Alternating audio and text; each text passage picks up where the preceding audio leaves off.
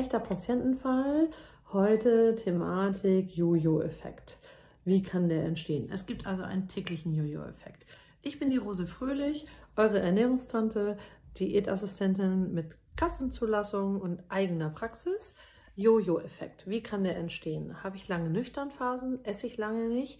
Kriege ich Heißhunger? Und dann kann ein Jojo-Effekt entstehen durch das, was ich dann im Heißhunger schnell verzehre. Meistens ja mehr Zucker, mehr Fett in der Kombination.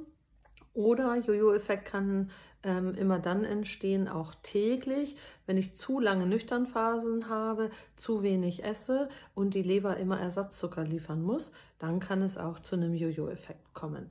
Das heißt nicht nur ein klassischer Jojo-Effekt, den ihr kennt von klassischen Diäten, sondern der kann auch entstehen täglich, wenn ich Mahlzeiten weglasse, zu wenig esse oder dann Heißhungerattacken habe und nachesse. Also ihr Leben, Essen einbauen, nicht vergessen.